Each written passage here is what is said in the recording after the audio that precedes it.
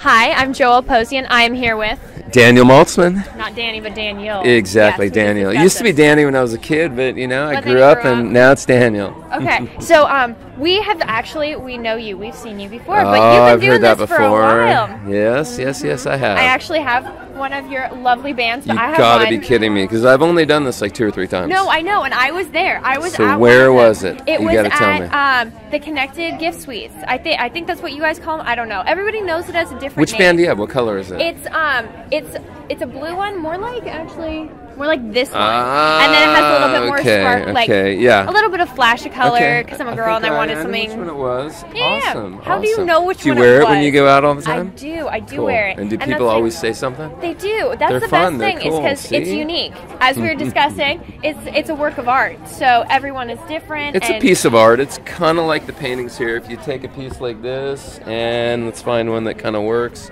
different color tone.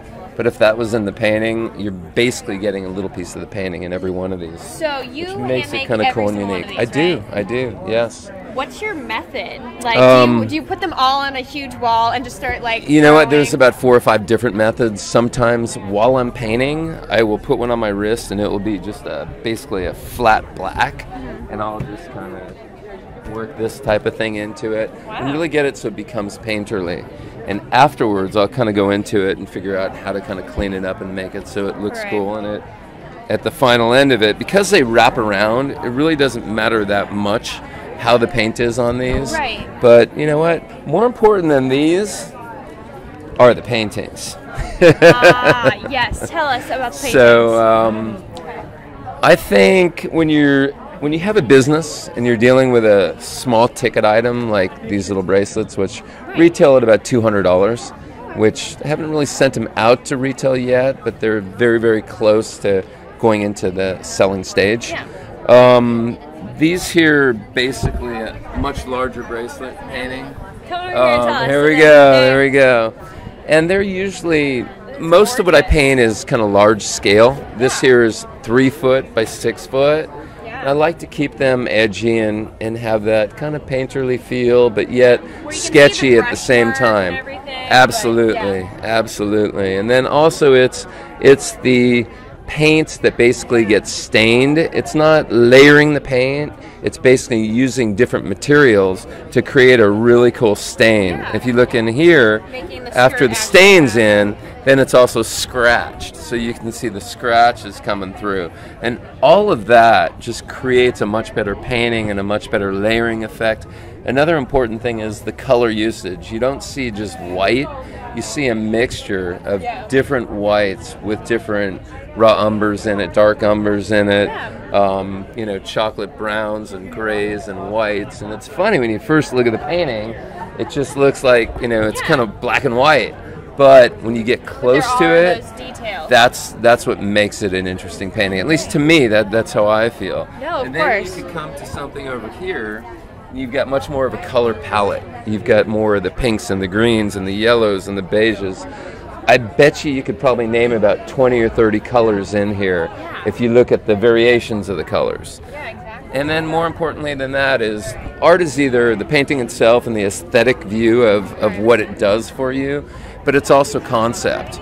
So I've taken concept basically of taking somebody like a Gerhard Richter in terms of the background and Andy Warhol in terms of the frontage of the painting, Yeah. but changing it so it's not all like Marilyn, it's not all some you know famous celebrity.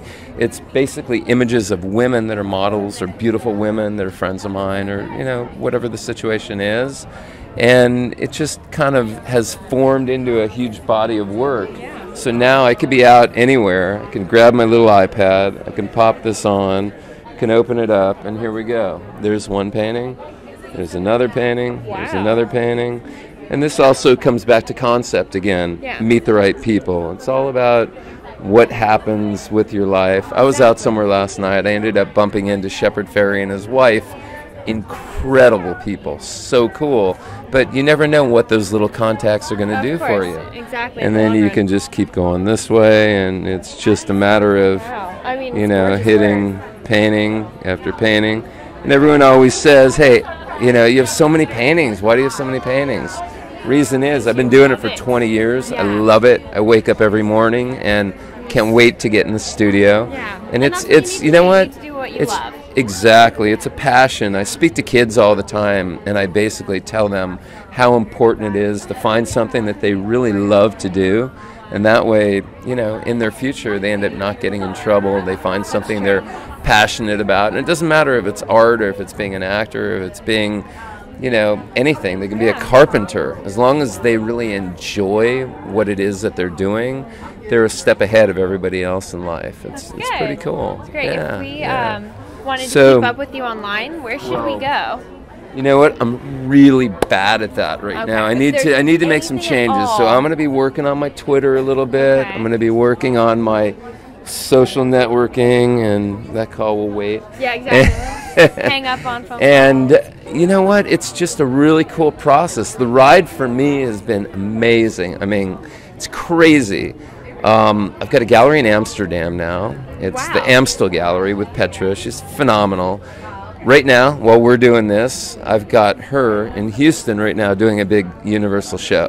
Oh, great. And I've got four or five paintings that are basically this size, and a lot of art collectors and great people in the art world that are buying and seeing. And you know, one thing leads to another. I also have a gallery in New York that I work with. I've got a gallery in Atlanta. Um, so you you're pretty much I've, everywhere. I'm trying to get everywhere That's because th- that's what it really takes. You can't just sell a couple of paintings here and there. You, you got to get Yeah. that stuff out everywhere. As a matter of fact, it's kind of crazy because I was in London three days ago. Mm-hmm.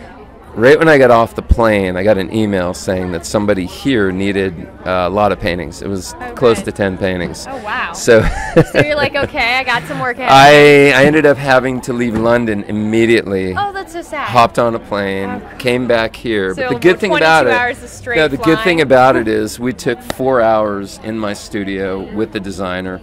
We looked through almost everything in the studio, Okay. And we ended up finding eight pieces that are being memoed out right now. Cross my fingers that hopefully it works out. It should. Yeah. And it's in uh, one of the most prestigious homes in Los Angeles, and they're sitting on the walls now. They'll be there for a week, and I'm hoping that in seven days I get a phone call saying, you know what, we want them all.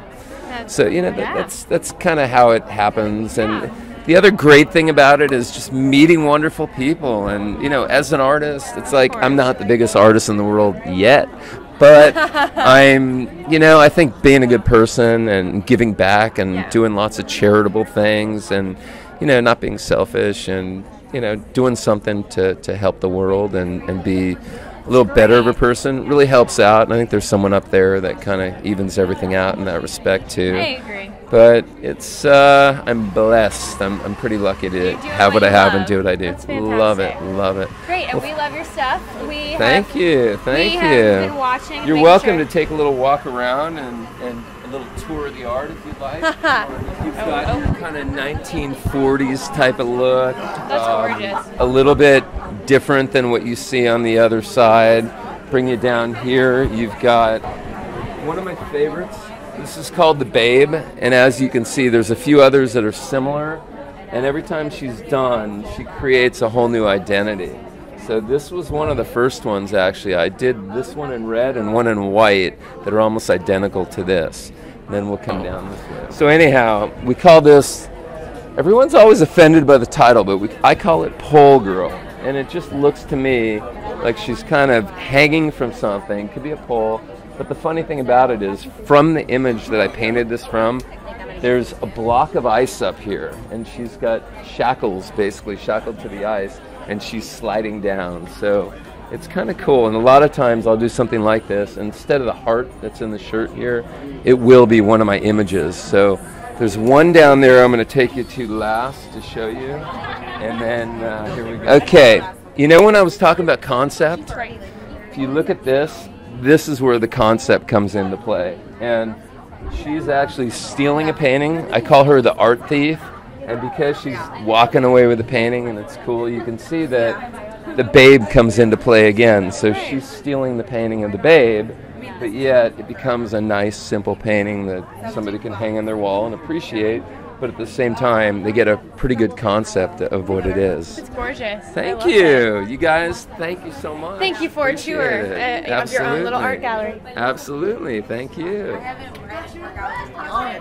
the internet. Oh yeah, you never told us on the internet What? anything at all that oh, we can oh, go absolutely. to. Yeah, yeah. On the internet, you can go to danielmaltzman.com and I have a pretty extensive website that I think you can see a lot of stuff. You can always contact me through there. Um, there's a few other websites that I'm putting together. I'll give you one of them. It's 2011art.com, but that I kind of use just to play around with different sites and to figure out how I'm going to better the danielmaltzman.com. So I love to share my art with the world, and uh, anybody that would like to see it, get a hold of me. It's my pleasure. Great, thank, Thank you. you. Oh, thank you. Awesome. Cool.